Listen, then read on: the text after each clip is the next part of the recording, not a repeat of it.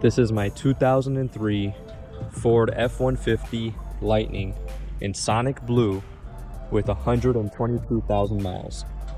Look at it. Would you look at it? Oh, would you look at that? That Just on. look at that. All right, this may have been an impulse buy. I saw it for sale. It was at a dealer. It was a one owner. The guy traded it in and got himself a brand new uh, F-150, some, you know, um, I think Black Ops edition or something. And, you know, he when he traded it in, he said, I want the next owner to get this extra set of wheels, an extra headlight, the uh, factory um, rear end because he changed the, the, the gearing, the um man i don't even oh the the factory window sticker. Look at this. Look at this. This this previous owner this gentleman he held on to this. Look at this. This thing is beautiful look at that.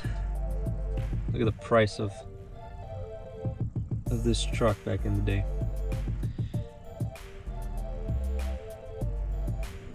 But yeah that's pretty cool. And he literally told you know the dealership when he traded it in. He said i want the next owner to get all this stuff because that stuff that he had kept you know he had saved. And he took really good care of it. I mean there's minimal tear on the seats. Usually when you see these for sale the seats are really torn up. You know here it's it's getting there you know it's, it's, kind of weird. You can it's lifted but you know it's intact. It's not ripped. And the interior is super clean well taken care of.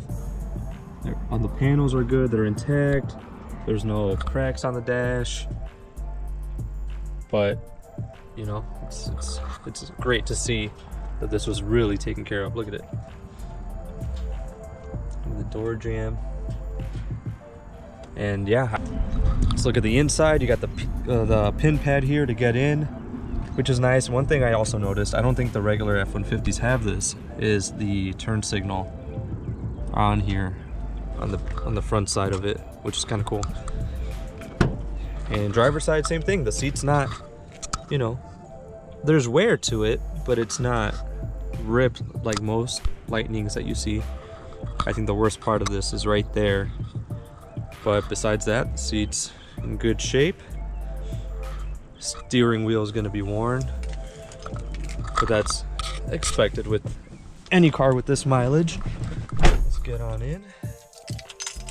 You got the reverse glow gauges. Man i remember that was that was the thing to have you know or to change on your car was get the reverse glow gauges and you can see right here 122 does have an aftermarket radio.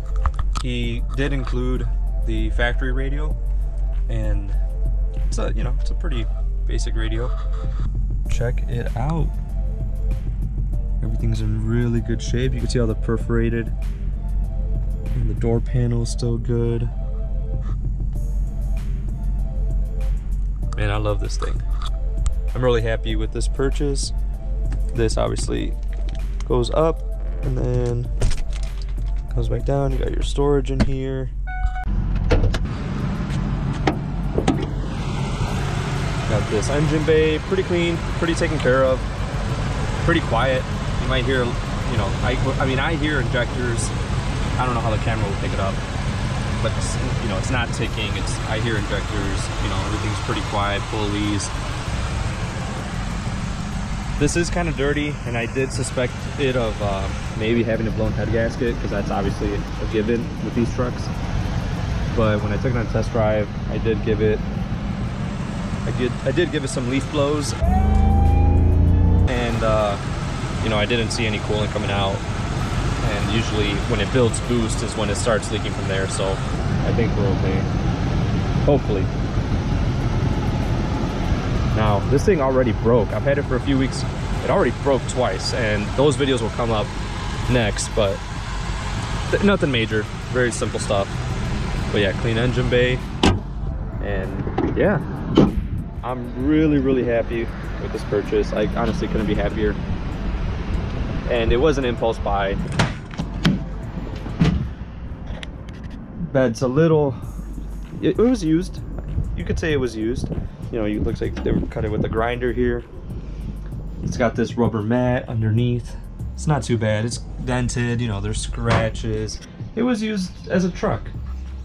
This is, for me, it's gonna be kind of like a work truck, you know, trips to the Home Depot and whatnot. Like I said, it did break already on me twice. So you can expect to see those videos coming up. And let me know what you guys think. Don't forget to like and subscribe. And let me know if you want to see some more lightning content.